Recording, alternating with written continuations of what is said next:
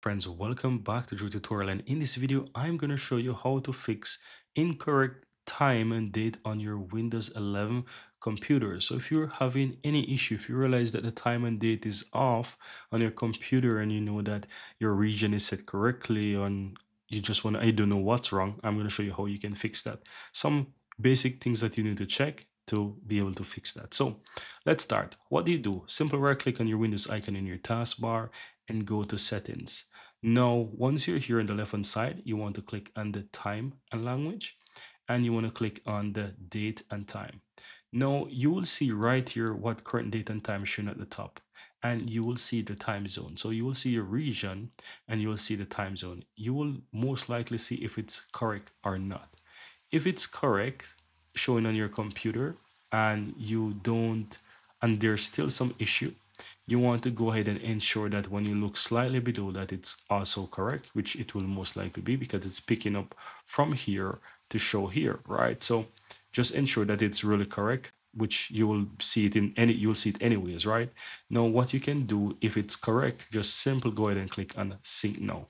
You will see that it shows the last successful sync and it shows the time as well from the current server which is says time.windows.com you can quickly sync that so what I would suggest you do, click sync now and see if it changes. If not, restart your computer and see if it changes.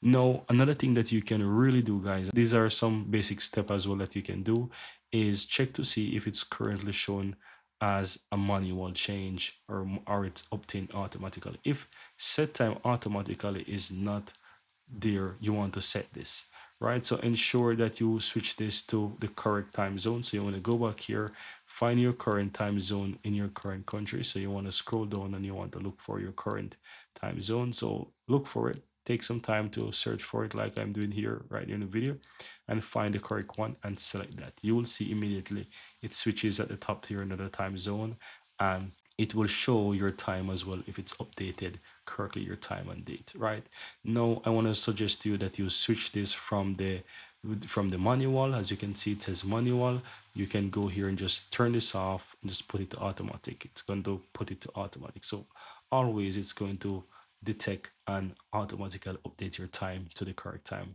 for you right? And it's pulling that from the time that windows.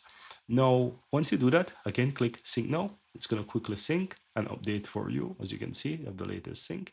And then see if that solves the problem. And if it does then great. If not restart your computer and you will see the changes there. I really hope these steps help you guys and if it do go ahead and give this video a like let me know in the comments below if you have any question and you can also go ahead and you can update your time zone automatically. What does this mean? That if you have your computer and you're traveling on the go and you move to a different country right? If this is turned off you want to ensure that it's automatically updated for you in that country right? So check if the time zone automatically is there. If not turn this on right? And this will automatically detect every time you travel somewhere because this could be the reason why as well. You might be traveling somewhere to a different country different location and you will have the region and the time zone different to your old country and you might not realize that oh that was set to not on and it's not updating correctly and that could really be one of the reason why you have an incorrect time and time zone. So check these basic stuff guys. Double check them.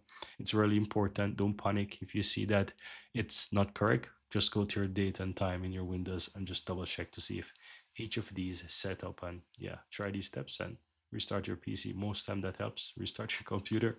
And yeah it should fix the problem for you. I hope one of these steps help and if it does good.